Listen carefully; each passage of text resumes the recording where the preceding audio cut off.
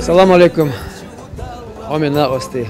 Добрый день, мои дорогие друзья и поклонники войнахской культуры.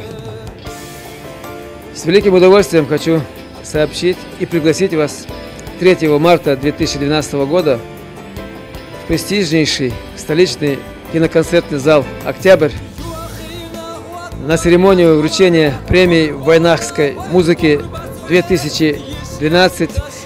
Это сейчас будет называться, отныне ежегодная премия войнахской музыки будет называться АССА 2012.